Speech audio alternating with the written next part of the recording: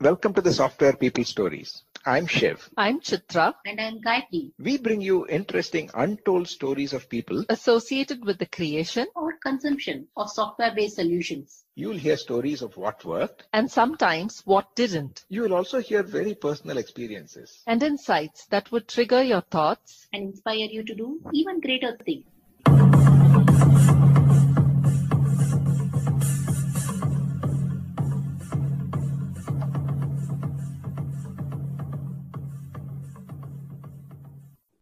Today, I continue my conversation with Scott Ford, the co founder and CTO of Corgibytes, a company focused on modernizing legacy code. In the previous episode, Scott shared his interest in legacy code, the patterns he has seen evolve in solution development over the years, and about using the metaphors of archaeology and home renovation in the context of understanding and breathing new life into old software, and a lot more.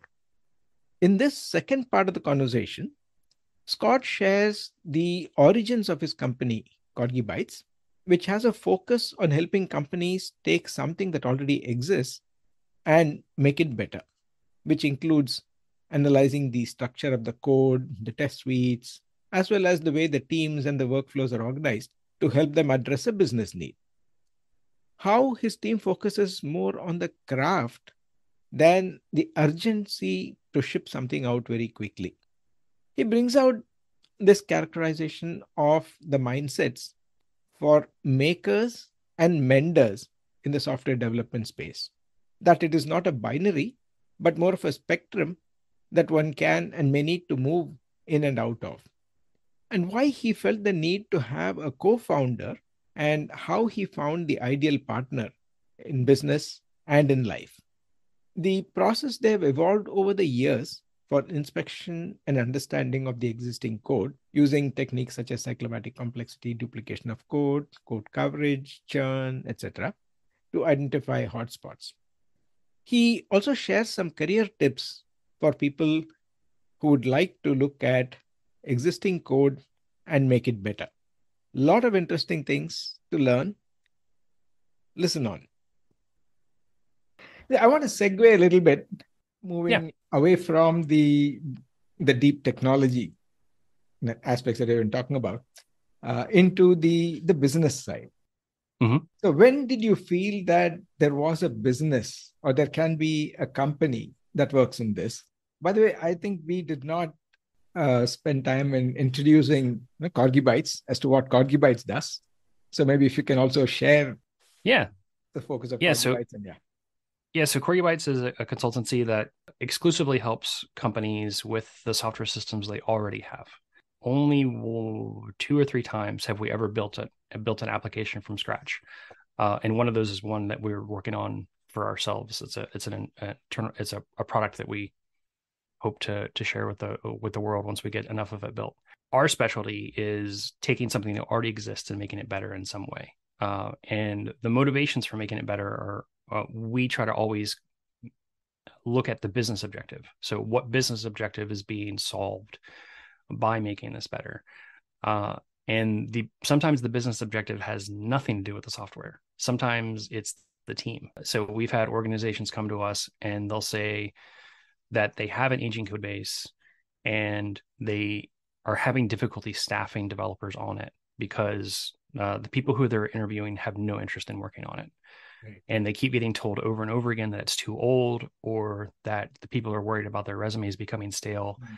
and so they don't even want to they don't even want to join the company to work on the work on the project and so we end up uh, helping them modernizing it to try to solve that problem to try to solve the retention issue in that case the business problem is is is retention the business problem is is you know attracting uh, software development talent uh, and the state of the software system is is what is making it difficult to to to achieve that goal. Other times it's performance or stability or security concerns or the rate of change. So what a lot of organizations will will notice is when they first get started and they've got that first experiment and that first new idea, uh, they're able they're able to ship changes relatively quickly. They're able to to to think of experiments and get results on those experiments relatively quickly. But then that pace of change starts to slow down and they're kind of longing for the days when they used to be able to get turned around relatively quickly. And so we can help them investigate like why have things appeared to slow down? And you know, can there be ways to make adjustments to either the way their teams are structured or the way the software is structured to kind of get some of that back? And you know, some sometimes it's it's been an accumulation of technical debt. Sometimes it's been that the test suite is taking too long to run, right? And so finding ways to make the test suite run faster uh, because you have people who are making a change and then waiting on the test suite to to tell them that everything's okay before before they can move on. But it's really kind of like starting with that business problem, doing an investigation to figure out like what is causing that slowdown or what is causing uh, that that business problem to need to be addressed in the first place and then and then figuring out a, a way to make changes to either the software system or make suggestions to the way the team is structured to to bring that change about. And so that's what that's what we focus on. We so if we're ever asked to like create a brand new app to solve a brand new problem that you know may or may not work we're not the right fit for that. We tend to take too long. We tend to focus too much on the craft of building something that that will last and and will work really well. When when you're trying to validate an idea craft is less important than does it solve the problem like like i mm-hmm. mentioned earlier. Yeah. And so we've kind of segmented the the world of software developers into makers and menders. And through really informal surveys that we've given at conferences like asking for show, shows of hands it looks like uh, about 5 to 10% of software developers out there uh, would identify as being a mender uh, and as you know someone who would prefer to work on those kinds of problems we, we've had clients in the past who, after talking to us, um, they just looked at who they had on their teams and they looked at their projects and they looked at, you know, kind of the, the maker mender divide amongst those teams and what kind of energy that project needed. You know, if the project needs maker energy, is it staffed full of menders? and is that is that the right match? Or if the project needs mender energy, and it's staffed for the makers mm-hmm. is that the right match. And so sometimes moving people around based on based on that natural inclination can help a lot. So yeah so we are a team of menders uh, that is that is what we're best at. We're best at mending things. We're best at that refinement work. I think we do uh, a really good job taking something that is at an uh, you know kind of an 80% that 80% done part where uh, most makers will then want to move on. You know they've solved 80% of the problem. Right and now they're bored. They need a new problem. yeah. Where we would really enjoy taking taking that and then like finishing off that last 20%, which may take a long time. That last 20% often takes a very long time, right? That that refinement work is kind of like the long tail. Sometimes you, you're never done, right? But that's that's the kind of work that we enjoy doing. We enjoy seeing seeing those those improvements come to be. And if we were asked to to build that initial 80%, then we would be challenged. So so that's kind of you know what the you know, Corgibytes as, as a company does is you know is that and we we embed ourselves on on teams. Sometimes we are the team so if, if the company is small enough then you know we end up being the dev team. Like if they've always outsourced their software development mm-hmm. uh, then you know they end up outsourcing it to us and we kind of get things to a point where um, now maker energy is needed and then we kind of pass the project off to to somebody else uh, and then and then sometimes it comes back to us when, when mender energy is needed again. Yeah that's very interesting. So when you started this as a business what was the trigger or why did you feel the need for a co-founder or a partner? Oh so i um i knew that i wanted like the independence of running my own company and i wanted that flexibility and i wanted to be able to structure the company in a way that could offer that flexibility and independence to others. But i didn't know how to do that. I didn't i didn't know how to find clients. I didn't know how to do the marketing. I didn't know how to I, I didn't know how to do the sales. I didn't even know how to structure what should be sold. I didn't know it, should it be a product company? Should it be a consultancy? Uh, so very very on, early on in Corgibytes' inception before we kind of landed in on the you know we're going to do legacy code i thought that i had a marketing problem. So i started started searching for solutions to to marketing the, the marketing problem that I thought I had. And I stumbled across uh, Andrea's blog at the time. and it, it it just happened that I went to high school with Andrea, Okay. and so uh, I reached out to her at uh, I bumped into her at our at her ten year high school reunion, Mhm. and uh, met with her the next day, and started picking her brain about like you know what could I do, and she just had this flurry of ideas. She was like, you could with your skills to to to kind of solve what you want to do. She just like she like laid out this like twenty point plan, and I couldn't even remember all of it, Hmm. and it just seemed to just roll off of her, you know, with like no thinking like Mhm. and she was like oh it's so easy and i was like no it's not um and so that's when i said you know you know i recognized and valued her skill set as being one that was valuable one that i was lacking. Uh and at the time i had you know the business had nothing to offer. Like there was like uh literally pennies in the bank account Mm. uh from where transactions had been tested to set up paypal and things like that. If she was willing to come on as CEO and co-founder, that you know I would you know give her fifty one percent because I would rather have fifty one percent. I would rather have forty nine percent of something than one hundred percent of nothing. And so, kind of recognizing that I I, I needed a, a, a co-founder, I needed somebody who had the expertise that I was lacking.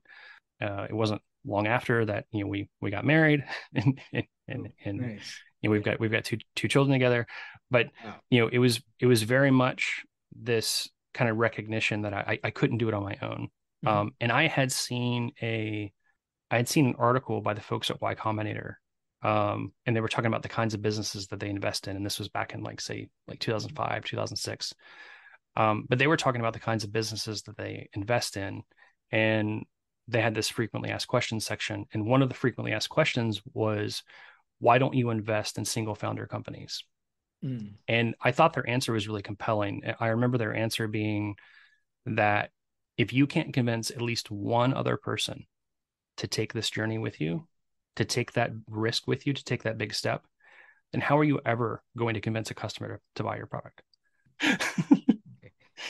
so I, you know, from the time that I that I read that article, I I, I kind of knew that I needed I needed to be to convince one other person, Mhm. uh, and you know, I felt like Andre was the first person who really believed in, in the idea that that something could work, something could come of this. And we uh, we kind of we bumped around a lot trying to find the right the right business model and the right the right market to to, to try to address. Like at first we we tried building small websites and apps for for companies, Mhm. and I was like, I hate this.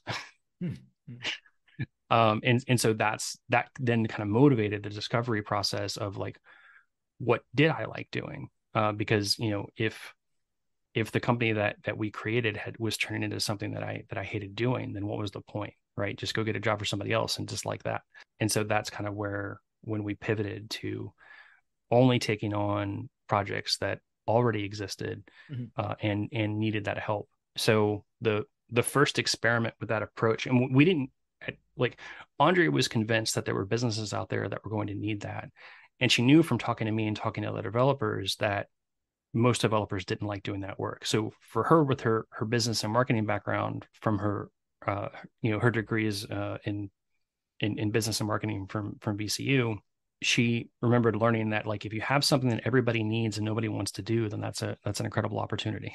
but I didn't know if if people would be willing to buy, and I didn't, and I thought I might be the only crazy person who liked doing this work. So we kind of started out with just kind of pitching me as coming in, and I think one of our our first marketing uh, messages was I can come on, on F your project was the way that we phrased it. so if your project is effed up, I can I can I can unf it, right? Uh, and so I then I started speaking at meetup groups. And one thing I noticed at the meetup groups that I was speaking at, and I, I spoke at a lot of meetup groups up and down the East Coast that year, is I would I would ask the question, who here likes working on a project that they inherited from somebody else? Hmm.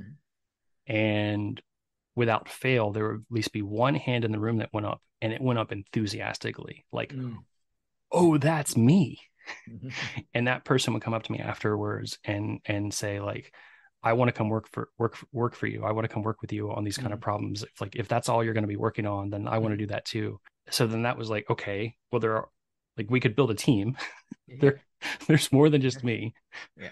and then and then it came down to finding organizations that would be be willing to outsource that kind of work to another organization to to get help, uh, and that's proven a little more difficult. Uh, we, we we've certainly found some. We've been successful. We've got you know uh, about you know our, our team size between software developers and and and not is about 18 at the moment. We're not super tiny, but we're not we're not huge, right?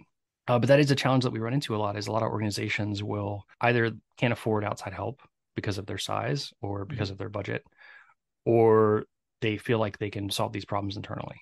And so it, it you know it's it's finding the right organization that is uh, you know recognizes recognizes that they that they need help or that they want help and that they're willing to get it from outside the organization rather than, than inside the organization.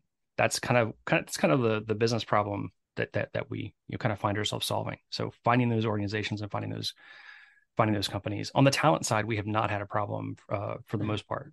Uh, there are lots of folks who really really like you know focusing on cleanup work, and that so that's been that's been nice. So over the years, with your experience, have you evolved any methodology or tools to make this process simpler? We have something that we do uh, with most most projects that we get started with. Um, it doesn't fit every project that comes our way, but it, it does fit probably you know 80 plus percent. Um, we kind of created a technical discovery process that we call a, a code inspection, and it's inspired by the by the the renovating a house metaphor, like mm-hmm. the kind of inspection you might get when you when you buy a new house. Mm. And we look at that, and we look at different software. We did look at different software quality metrics, and we look at them uh, in comparison with each other. So mm-hmm. we look at cyclomatic complexity or cognitive complexity, depending on on what makes the most sense given the given the language. We look at duplication. So how many times have mm-hmm. have things been copied and pasted throughout the mm-hmm. throughout the code base? We look at test coverage. So mm-hmm. um, how much of the code base is executed in, in an automated uh, with an automated testing framework. Mm-hmm. And then we look at churn, which is a measure of uh, how many times has the code needed to change. And we look at this at a, at a per file level. And by looking at all those at the same time, we're able to kind of uh, identify hotspots. So if we see uh, a file in the code base that has, say, changed 300 times in the last three months, and it has the most complex method in the code base in it, uh, it has the worst coverage, and it, and that file has the highest duplication across the code base.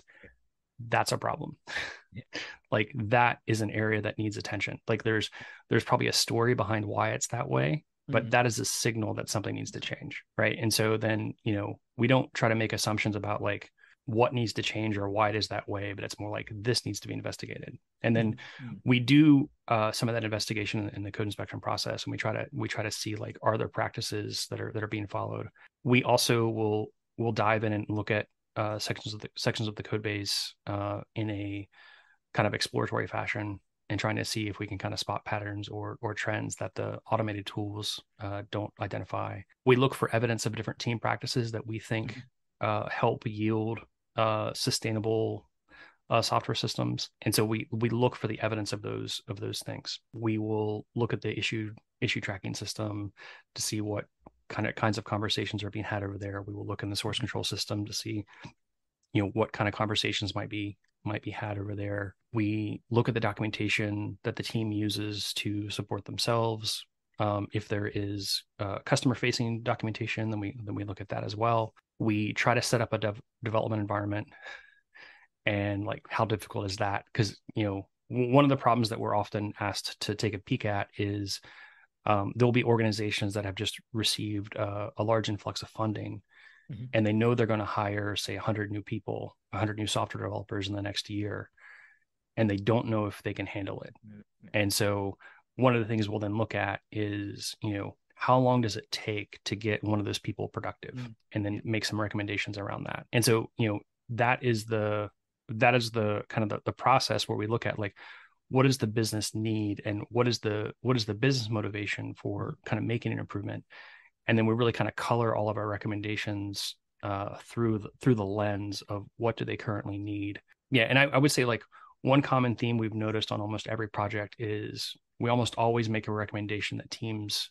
try to identify code that they can delete, and that you know kind of organizations organizations in general don't have enough knowledge about how their software is being used by their customers. They've built features and they've shipped features, but they don't really know if those features are being used. Yeah. I think if that data was more readily available, then uh, business leaders could make decisions about whether or not it makes sense to delete some of those features and no longer have to uh, pay the price of of keeping them working uh, Right. and and keeping them going. So that's a that is definitely a, a theme that we see all the time is that teams need to need to delete more code, uh, identify code that's not being run anymore and delete it, identify features that aren't being used by your customers and delete them. Now, Anas, do you see any scope for AI-based approaches to help with this kind of analysis? I, I'm sure there are. I am not familiar with the research into that. I during lockdown, I discovered that there is a in, in town where I live. I, I live in the Richmond, Virginia area at Virginia Commonwealth University. They have a software maintenance lab where they do research around software maintenance activities. It's my hope to kind of get plugged into what that lab is focusing on from a Mhm. research research perspective. I imagine that there are researchers looking at you know AI based approaches to maintenance activities. Mhm. I think that you know there's likely a lot that can be done there. Uh, you know, I think you know the the tooling that that we've kind of identified need for you know could be tooling that could be created uh, and kind of you know driven in, in an AI way. So I, I do think there's there there's room there's room for doing that, but I think it's going to take some research to kind of find those problems and find ways to train uh, AI models to come up with with solutions that'll that'll that'll work. Uh, and one question that I like to ask all my guests is related to career advice Mhm. or two segments of people someone who is probably starting out in IT and somebody who might be mid career. So the question is actually in two parts. One, is this mender mindset a trainable skill? And is there something that uh, one can get into, irrespective of what stage of uh, one's career one is? Yeah, I think I think it likely the mender mindset likely is trainable. And kind of what we've noticed is it, it's probably not binary. It's probably more of a spectrum. We've had people on our team who have worked on, you know, worked on projects that needed mender energy for like two years straight, and they're like craving making something from scratch, right? So I think you know there is there are for some folks there's a limit.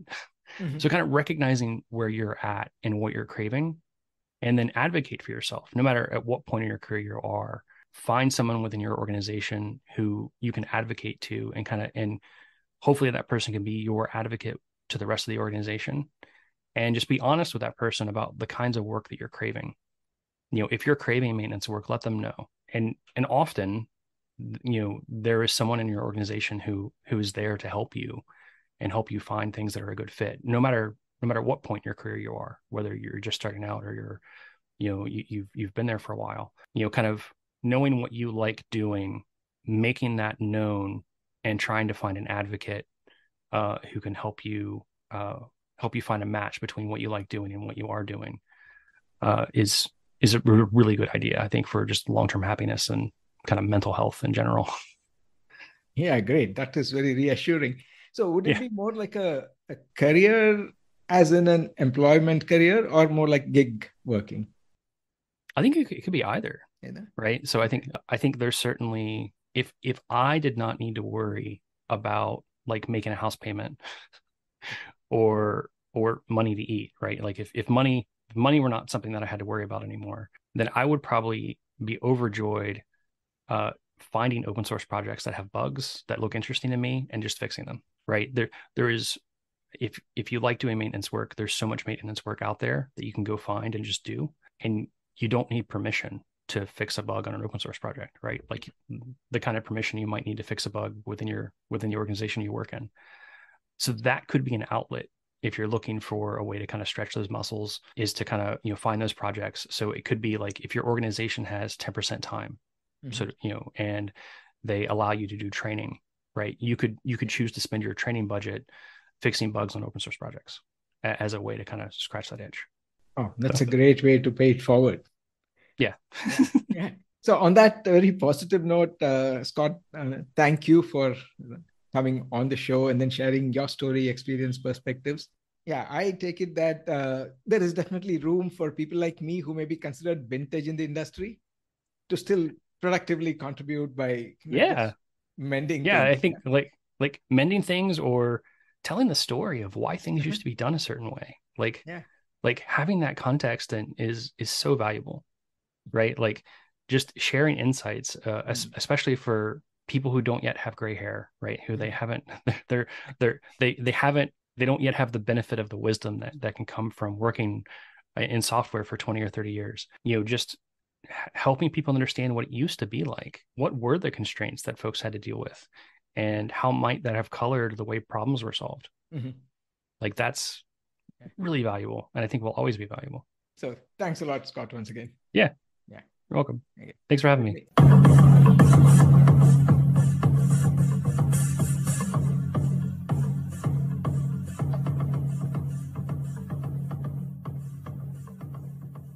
We thank Siddharth for the music and Anita for promoting the Software People stories. If you like this episode, Please subscribe on your favorite podcast client. And spread the word in your network.